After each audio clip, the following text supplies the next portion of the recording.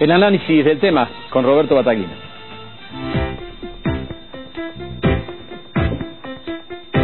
Hablábamos hace unos minutos nada más con gente que estuvo en el acto este que veíamos recién de la presidenta anunciando eh, viviendas, la entrega de vivienda del plan Procrear para distintas ciudades del interior del país y también refiriéndose a la tragedia que ocurrió en Castelar con una diferencia muy marcada respecto a la reacción presidencial después de no haber aludido a lo que fue aquella tragedia ferroviaria en 11 con 52 muertos durante varias semanas de silencio presidencial absoluto, hoy la estrategia de la Casa Rosada que sintió el impacto eh, cambió y eh, rápidamente tanto el ministro Randazzo como la presidenta habló, expresó su solidaridad con las víctimas y demás. Pero nos decían eh, gente que estuvo ahí en el acto que la conmoción que eh, rodeaba el gobierno era muy grande. El estado de shock en el cual se encontraban algunos funcionarios es más. Cristina le habría manifestado esta mañana a sus colaboradores más cercanos que estaba eh, profundamente conmovida y en un estado realmente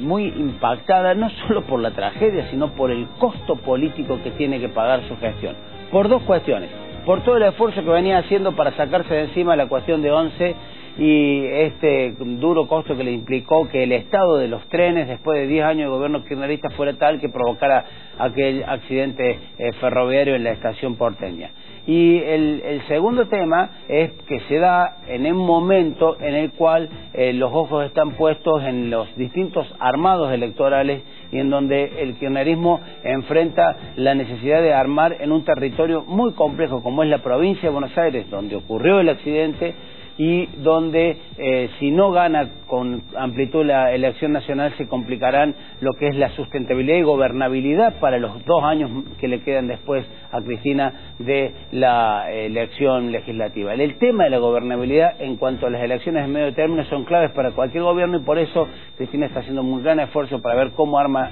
la lista en la provincia de Buenos Aires aunque no haya ningún tipo de connotación electoral, este eh, accidente, mm, esta tragedia,